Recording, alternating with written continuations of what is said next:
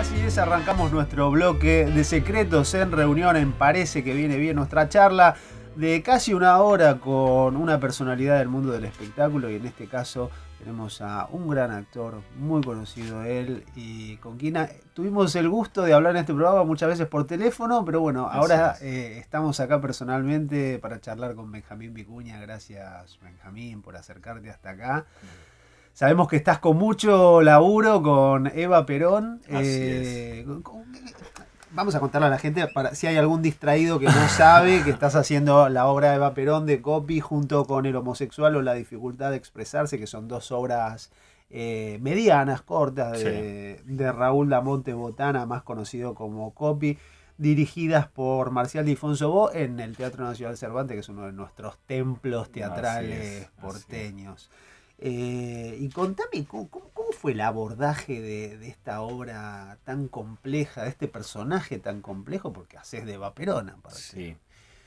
Bueno, a ver, es una, es una historia larga. Yo tuve la suerte de conocer a Copy, digo, como autor, como un autor prácticamente de culto, hace ya más de 10, 15 años cuando estudiaba en la Universidad de Chile. Ah, y luego vi el montaje que llevaron justamente Marcial, que dirigió con Alfredo Castro como protagonista y con elenco chileno y era un, era un espectáculo increíble. ¿Esta obra era? Esta, obra. Ah, sí, No el homosexual ni el entreacto, solo, solo Eva. Sí. Y, y, bueno, nada, vi eso y la verdad que me, me volví loco.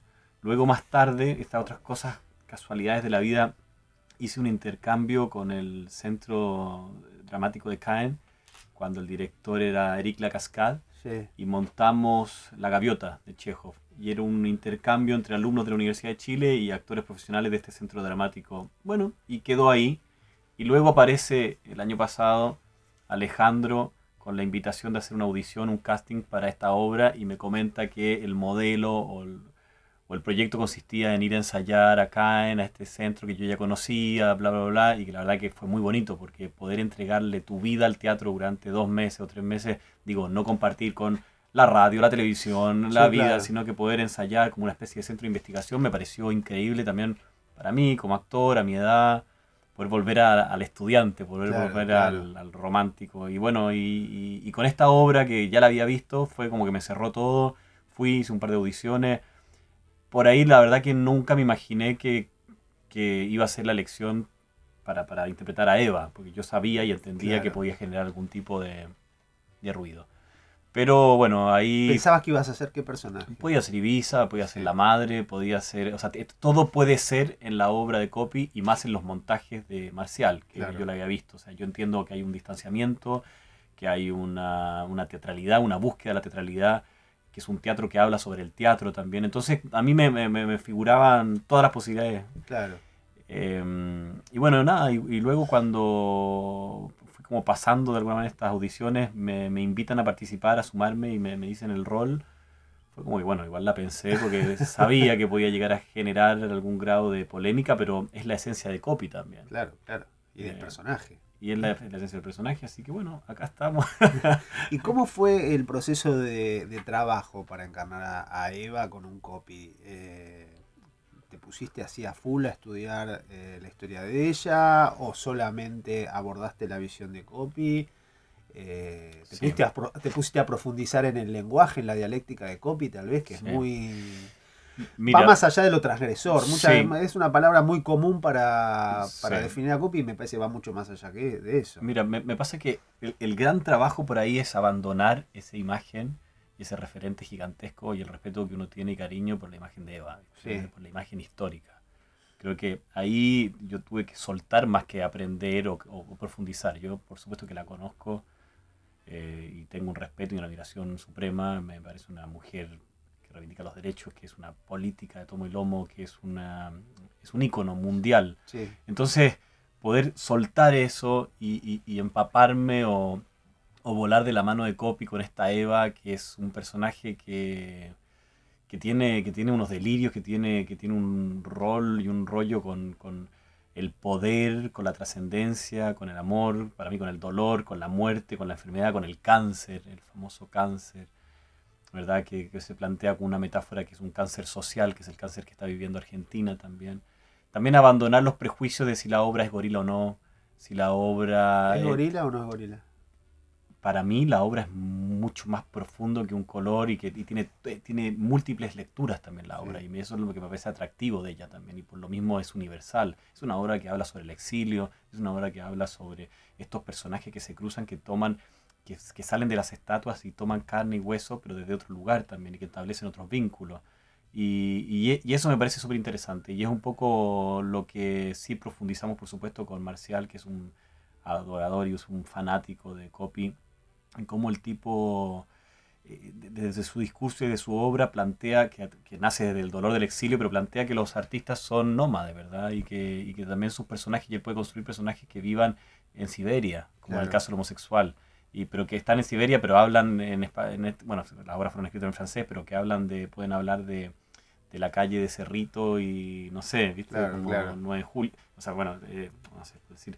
Y, y, eso me parece alucinante y me, me gusta. El, el autor eh, me parece que tiene una conciencia del ritmo espectacular, tiene humor, es corrosiva, es irreverente, es potente. Em, bueno, y imaginarse que esto hace 30 años atrás, 40 años atrás. Claro, en 70 se estrenó, ¿no? Eh, recordemos que se puso una bomba cuando se estrenó en, en París, en eh, la apuesta de Alfredo Arias. Eh, ¿cómo, ¿Cómo lo abordaste al personaje desde la encarnación, digamos? ¿Trabajaste a Eva o trabajaste esta Eva, que es una desquiciada? Sí. lo, que hicimos, lo que hicimos con los compañeros, y en particular también con Eva, fue un trabajo que tiene que ver con lo físico, o sea, Marcial pone acento particularmente en lo físico, en, la partitura, en el respeto del texto. Luego hay ciertos guiños que si tuviste la obra se exacerban ciertos rasgos femeninos sin caer en la caricatura, sin caer en, em, intentar hacer una mujer constantemente. Utilizo también la fuerza del hombre. Hay un término medio muy interesante. sí, hay un término medio que justamente está para escapar o evadir la, la, ridiculización, o, entonces, y, pero sí hay momentos que claramente se trata de evocar algo, una imagen, ¿viste? Cuando estoy con la peluca, en el balcón, ciertas cosas que hay un guiño ahí a un momento histórico o algo, pero ¡pum! automáticamente rápido se quiebra. Cuando se empieza a acomodar una imagen, se saca. Y eso me parece súper interesante. Y luego está el actor.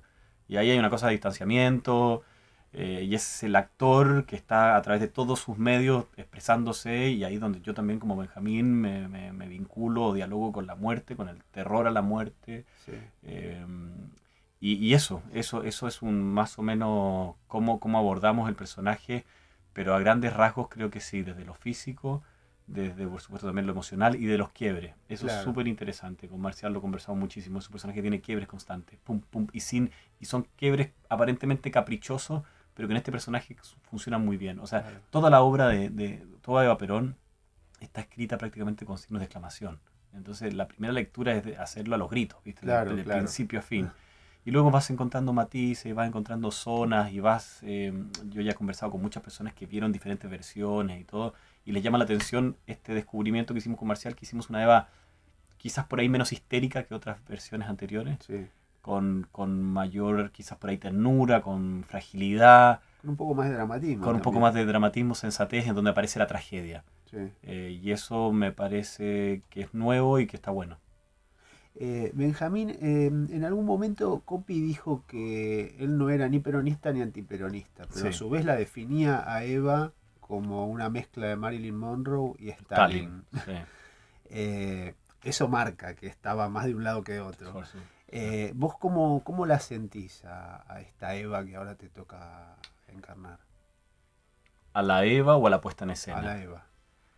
Sí, me, me parece. Mira cómo tengo las uñas todavía. Hablando de mono. Me parece que es un personaje que habla con autoridad, con lucidez, con desfachatez también, con, con desesperación, de qué es lo que va a pasar con su imagen, con el poder, con la pérdida de poder, pero la pérdida de poder y cierta, por eso que digo desfachatez, cierta soberbia sobre incluso la muerte, de cómo ella va a quedar en el registro, en la historia. Eh, claro. y, y, me parece que, que me, me, cuesta, te puedo, te puedo decir como el abordaje, como vos planteás, más humano. Sí tiene que ver con su intimidad más que con la lectura política, si la pregunta es esa. Eh, porque hoy también hablar de peronismo es tan amplio, es una concertación y es un espectro tan... y todos son peronistas en algún lugar, entonces vos no sabes cuándo puedes llegar a herir o no una susceptibilidad. En ese sentido, ¿cómo lo recibe el, público? ¿Cómo sentís que lo está recibiendo el público? Wow, a mí me parece, bueno, tuvimos todo el fin de semana lleno, eh, que es muy bonito que el Teatro Nacional Argentino, una sala gigante como esa, se pueda llenar con un teatro que incomoda, un teatro difícil, no es una comedia para... No, y aparte es una, una, obra muy, muy distinta a lo que se suele representar o se solía representar en el Teatro Nacional de Cervantes. Claro, además, eso es interesante, la nueva administración de, Alejandro, que está muy bien, la tiene clarísima y todos los actores, o, bueno, todos nos sentimos parte y estamos felices con ese, ese cambio, claro. Eh, eh, hablamos de la gente. Del público. ¿Qué te puedo decir? Primero... Hay enojos también. El público... pero hay enojos. Sí, obvio obvio. Es una, es una, pero lo pasa, es una obra que, que, remueve, ¿viste? que incomoda. Y en ese sentido a mí ya ser parte de algo así, creo que eso es una de las misiones que tiene el arte. Poder generar un remesón y que eso se lleve después a un debate, una conversación, a generar conciencia, lo que sea. Pero arma algo ahí, abre incluso hasta una grieta. Eh, pero, pero en donde, en donde lo que para mí tiene que primar es, es el, el arte, ante todo, digo, eh, el teatro, entender también que, que, todos los actores que estamos acá y que la, gente que es parte de este proyecto tiene diferentes colores políticos, que proviene de diferentes escuelas, también incluso diferentes lugares del teatro. Tenemos actores, compañeros que vienen del OFF o del teatro independiente, otros, no sé, más del mainstream, del teatro corriente. Digo, y, esa fusión me parece ultra democrática también, me parece interesante que suceda y el público también. Creo que, que, el público pueda... Algunos arrancan así con, con un poquito de distancia, pero la, la, obra también, y, ahí es donde yo creo que el humor que tiene Copy te va seduciendo. Los van agarrando, va agarrando, y, si, independiente de que haya imágenes muy fuertes, eh, siento que es una obra que cautiva y que, y que atrapa. Si bien, eh, como vos también lo remarcaste recién, eh, esta apuesta, esta mirada de Copy sobre Eva Perón profundiza la grieta, porque en este momento, digamos, ahí en la platea yo lo veía, que profundizaba mucho la grieta. ¿Cómo se sana eso? ¿Tiene algún carácter sanador también? Eh, la obra, eh, lo artístico, digamos, en, un caso así. Yo creo que la, grieta, la famosa grieta, se soluciona con el diálogo. Mm. Ya cuando no se puede hablar, como las parejas, ya te las tenés que tomar, ¿viste? Cuando ya ni siquiera Cuando ya una sonrisa pasa a ser un sarcasmo, cuando ya una mirada pasa a ser una ofensa, cuando ya es como, bueno, nos fuimos todo al carajo. Y es lo que está pasando hoy, o sea, vemos la declaración esta de la carta de Pablo Moyano. Sí, sí, sí, sí reprochando, ¿cómo es la palabra? Peor, el adjetivo, no sé, como eh, prácticamente prohibiendo que sus seguidores eh, vean esta obra, me parece un acto ofensivo al arte en general. Digo, ni, ni, para la prensa, ni para la cultura.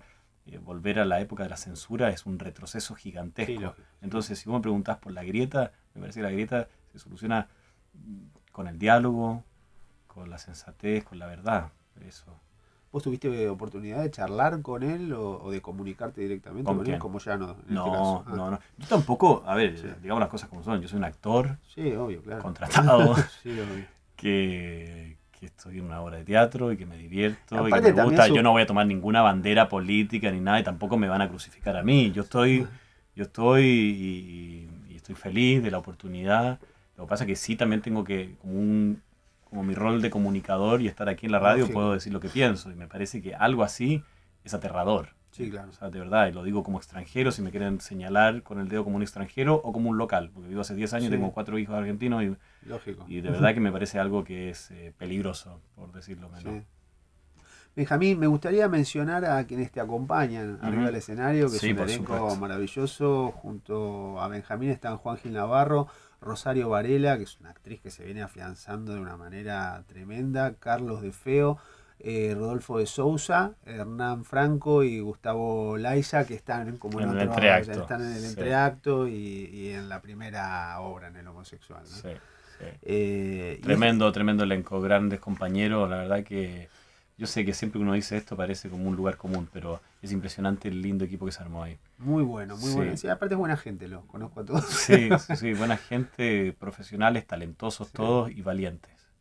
Eh, Benjamín, ¿y cómo se termina después de un tour de force así como interpretar esta obra? Yo ayer te veía y digo, ¿se irá a comer una pizza? ¿Tenés ganas de irte a tu casa y meterte a dormir inmediatamente? Mm. Eh, sí, a mí me pasa con este tipo de obras. Es muy exigida, perdón, físicamente. Sí, bueno, vos la viste y, sabes, por lo mismo no es un espectáculo que se puedan hacer varias funciones al día o ni mucho menos. Eh, es, es, algo, por lo menos yo me lo tomo así, como un rito, como una danza macabra, pero a la vez también con, con, con brillo, con sutileza, pero es un, básicamente y el personaje, el personaje, en este caso Eva, te exige entrar en zonas complicadas. A mí me termino no solo cansado, sino que con, una angustia importante. No, no es un personaje para divertirse. Sí, me divierto como actor, eh, con algunos cambios de ritmo y con, con algunos momentos de humor, pero en general es duro, es duro, es duro para el cuerpo, es duro para el espíritu. Habla del cáncer todo el tiempo. Todo el tiempo. Imagínate que y eso genera incomodidad yo lo llevo a otro lugar, viste, que supuestamente la misión que tiene la gente que por ahí atraviesa una enfermedad, lo, leí una vez, que era como que son de alguna manera enviados, un chico que pierde el pelo, una quimio, tiene que también, es duro, pero andar en la calle con su, con su calva, ¿viste? Como decir, loco, aquí estamos y es parte de la vida también. digo, pero así todo incomoda. Es, raro lo que nos sucede. Y, yo digo muchas veces en la obra el cáncer, me operaron, me querían operar del cáncer de matriz, del cáncer de garganta, del cáncer de culo. ¿viste? Y como que yo sé que para el público eso también es como, ay, no diga cáncer, no, no diga eso. ¿viste? Como que hasta en ese sentido la obra eh, transgrede y jode, incomoda.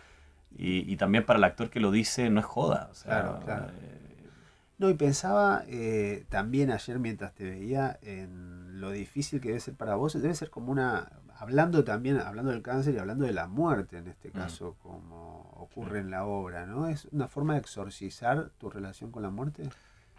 Yo creo que sí, yo creo que sí. En parte, yo creo que cada proyecto que uno elige finalmente es para hablar sobre la vida, sobre lo que te está pasando. Uno elige proyectos, ¿verdad?, que, cuentan algo más. Sí. Y obviamente que, está Eva con todo lo que habla. Yo, siento que, que cuando uno elige también uno sabe las zonas que se va a meter y los riesgos que va a correr. Mm. Y, y me parece que uno como actor debe tener como como cierta propiedad para hablar de algunas cosas y por eso que son, son tan bienvenidos los años en los actores. Claro. Yo hace 10 años atrás o 15 no, no, podría haber hecho esta obra. Hoy sí me siento, bueno, Eva murió con 33 años, pero yo sí me siento... Con la madurez, claro. Con la madurez para poder eh, mirar a la cara a la muerte en un escenario y interpelarla o hablar, ¿viste? Desde la rabia, desde el dolor, desde la rabia se construyen muchas cosas. sí, claro. Eh, es una fuente inagotable de creación, la rabia. Y bueno, yo tengo mucha rabia, así que desde ese lugar eh, trabajamos con Marcial y es una de las cosas que tiene esta Eva, un, enojo, como yo definí por ahí, como un, fantasma punk. Eh, que constantemente también habla de que no quiere terminar en un mausoleo y donde está hoy, ¿viste? hay, un, hay un reclamo desde la muerte que me parece muy potente. ¿Le tenés miedo vos a la muerte? ¿A la muerte propia? Supongo que después de lo que te pasó no, queda, eh. algo queda minimizado absolutamente, ¿no? Sí, sí. No, más que minimizado. uno sigue teniendo el, mismo grado de respeto y misterio, porque es un misterio. Pero con algo de fe uno dice, bueno, tengo la mitad allá y la mitad acá. ¿Vos sos creyente? Mm, es parte de la rabia como una desarticulación de todo, ¿viste? Pero, pero, pero sí fe de, volver a, a un encuentro, un abrazo. Eh, no sé los lugares, ni los colores, ni no tengo muchas imágenes, pero sí, pero sí creo en eso, como en un abrazo. ¿Buscas esas respuestas o esperas que aparezcan? ¿Las respuestas de qué tipo? Esto, cuando si vuelve a aparecer la fe, si vuelve a aparecer el abrazo. Sí, igual, lo que pasa es que también creo que,